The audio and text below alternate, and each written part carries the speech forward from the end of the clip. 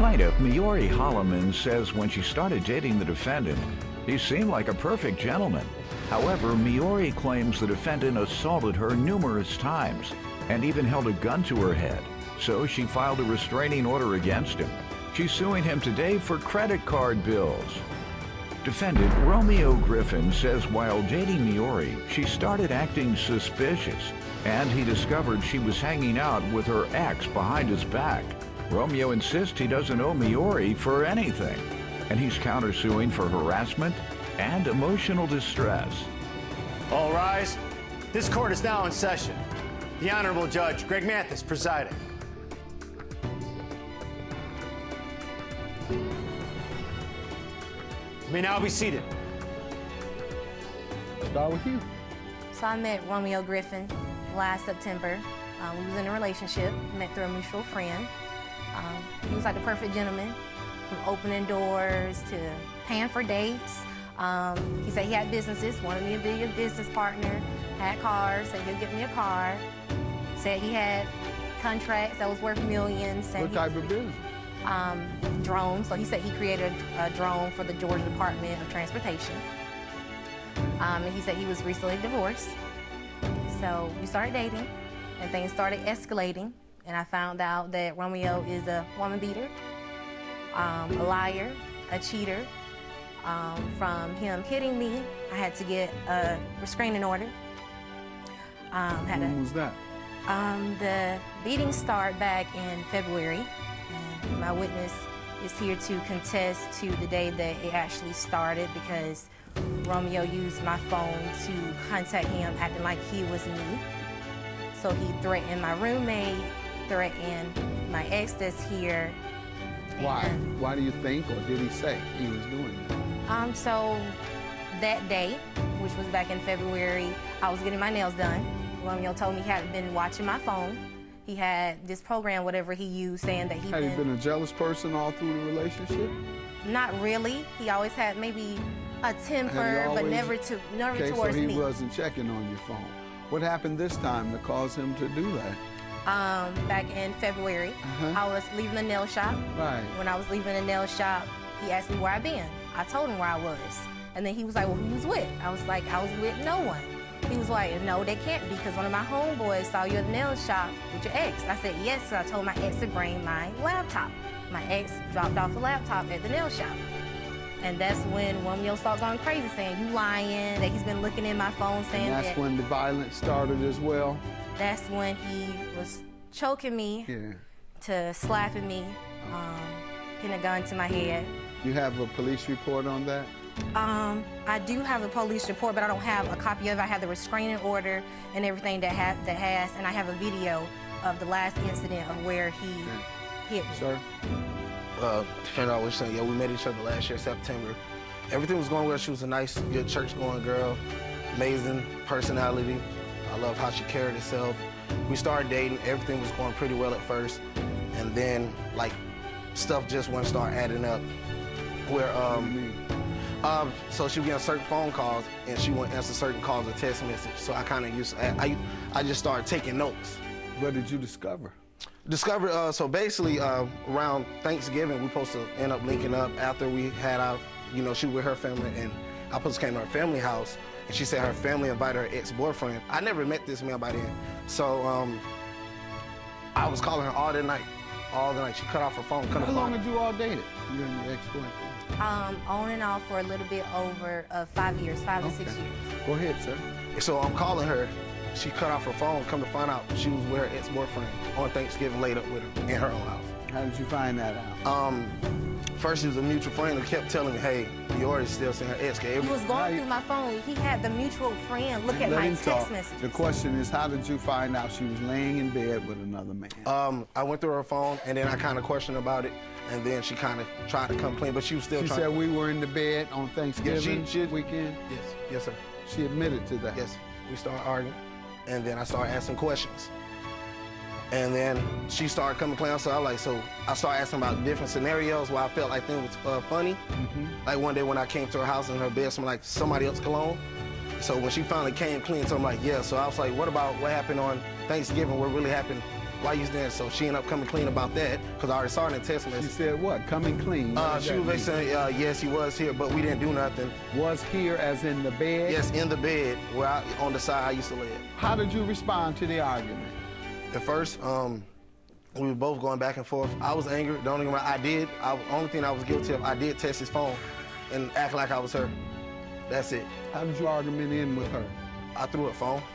I ended up starting asking about other scenarios and stuff, and then she just was telling me about this time and everything. So I was like, "Are you still 100% still seeing him?" And Honor, she was, she said yes. And then what happened? And you then, just uh, walked away. No, sir. Uh, we end up somewhere. We end up coming down. We end up talking about it, we end up staying together. That was before or after the uh, phone was thrown. That was uh, that was before. This is when he started hitting me. So he threw my phone and he started hitting me, choking me. I couldn't breathe. He had me pinned down on top of me, pulling my hair, going crazy. And then he started from choking me again, from pushing me. He, he, he did throw my phone in the door. And that's when I have the text messages of him threatening my ex. So he got my phone, started acting like he was me, telling my ex he's gonna hurt me. Then he ran outside and told my roommate that I've been doing stuff behind his back. You have a report, ma'am? Yeah, see. I have the restraining order And, and how many times did you call the police? once. Why? I was afraid of him, and I, it did make me seem like I, I was the one that caused him to be like that. He wasn't like that. I had never seen him like this before, and he was right that me and my ex was still communicating, but there was nothing. So is that how you caused it, you believe? That's why you think you caused it? Because you and your ex were communicating? I, I believe that that was the reason why, because I had he had never acted like you this didn't think perhaps if your man didn't want you to communicate with your ex, you didn't think it was worth not communicating with him? um, then I was finding out Romeo was treating that he's still married. Okay. This got man is still married. All right. that's- I was not. all I wasn't aware of this. You- Now I That's a lie, Your. Honor. All right. That's a lie. Okay. Not married? No, sir, I'm not. Okay, good enough. Okay. Yeah. And let me see what you do have on this woman beating. Oh, okay. This is the PTO, the restraining order. Okay. Let's see it, please. And tell me about the credit cards first. I want to hear why you gave this man $5,000 Okay. and you said he told you he made a bunch of money. So at the end of September, that's when um, he said that his bank had froze. he only met, I was he with met you in September, correct? Yes, so the first week of September, that's when um, I was going around with him. We was going to different places getting his apartment together because he had just moved. Well, he said that because he had spent so much money, which he was spending a lot of money, I had seen him spend maybe over $10,000. So I saw him have this money and everything, and he said his account froze. And Did he tell you why? um, he told me because he believed his ex-wife, because they still had one um, account together, his ex-wife may have did it, saw that he was spending a lot of Okay. money because they still had that joint account together. Okay. And he asked me, can he use my credit card and he'll pay me back because he said it's something that What can get fixed. From for? still, he was still moving in. It has all here the transactions about him going to Walmart, getting those transactions. still involves be- moving in, and he was supposed to pay every month, obviously. well, the following month. So I had not used any on that um, Walmart credit card. The following month, he said he would pay me back, and I have all the message about him saying he'll pay me back plus some. And then I asked him, so October came. you do have over there, hopefully, the charges, Oh, and yeah. I pray Okay. that it doesn't have anything indicating that you charged something. Those are um, for two So this, this is not gonna going to start be quiet. Sir. She's. This is not going to say that you charged anything on here. Um, no, sir, I, I did not have those cards. Okay. Yes, you For- did. All right. What did she charge, sir? Sir, what did she charge? Um, so we both were just not going shopping. She was shopping for her house as well, sir. It's What not our house, for a it's house. yours. No, What do you you, mean? I said you were shopping for her. Like I'm saying, You all stayed in different houses. yes, we stayed in different houses. What did houses. she need done at her house? uh, she was just getting a few household stuff. Like what? Uh, You were hol- with her. she, she she got this thing. She like decorating for holidays, so she did like a, hol- a lot of holiday How shopping. much do you think she charged? I'm not sure, Your Honor. So it could have been five dollars. No, it wasn't. No, How do you credit know? card. I have my own debit card. You're not sure. Give me an estimate. Because you're lying. Right. What- what- It appears he is. What's your defense against paying this? My defense. Yeah. Well, uh, She's suing you for credit card charges. Ain't nothing funny. You're gonna have time to grin and smile when you go to prison. Yes. Did you make those charges? I did make. What was the agreement regarding you paying? Sir, uh, when we was dating, we was girlfriend and boyfriend. We had no agreement. She was basically my support system the whole time. Okay. We did not make it a All group. right, you sound like a scrub. You sound like a woman He's beating. broke. That's what You he- sound like a woman beating scrub. Yep, you were that's broke. You don't have any money. What happened to your money? You were broke when you met her. Sir. Okay, so one month later, all your money was gone. Sir. All right, so why did you have to use her credit card that next month? Okay, so, um, for that, she offered, but I was actually. I understand. You said she was your support. Didn't you just say that? Yes, sir. So that means you were broke.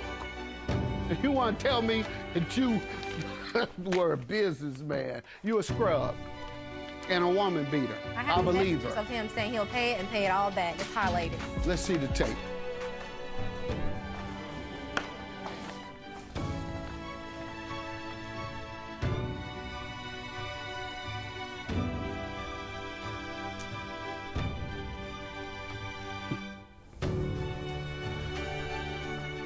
I hope you crack your knuckles in prison.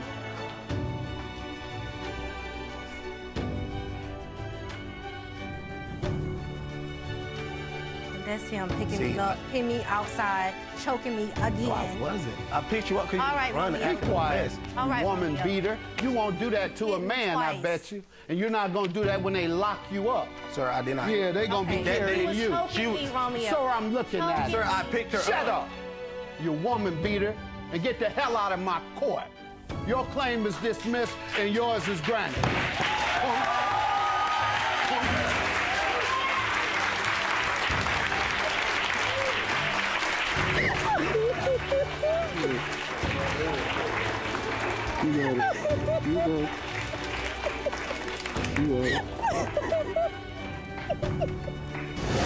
I just hope he gets what he's done to me.